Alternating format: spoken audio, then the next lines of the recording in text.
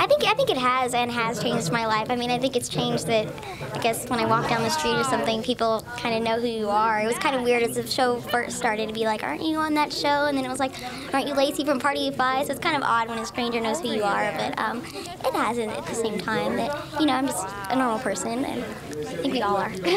Oh, How I'm we go? cute. Six weeks ago, that was a look back. Yes, six weeks. Look at me. Look Look back at to Lacey Chabert. That was 1996. That was the height of Party of Five right there. We're celebrating the 90s. Take us back inside at that moment when this show hit.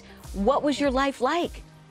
I mean, I was just a little girl and I just loved, you know, pretending to be this character and we had so much fun together. I thought of, you know, the my coworkers as family truly mm-hmm. and we're still very close, but you don't really understand when you're in something, I think, you know, like you're kind of in the middle of it. It's hard to understand that the show will have, you know, such an impact, but there isn't a day that goes by I'm not grateful for that experience and how much fun it was and what I learned. It was one of those shows that you just did not miss. Oh, yeah. You know what I mean? Yeah.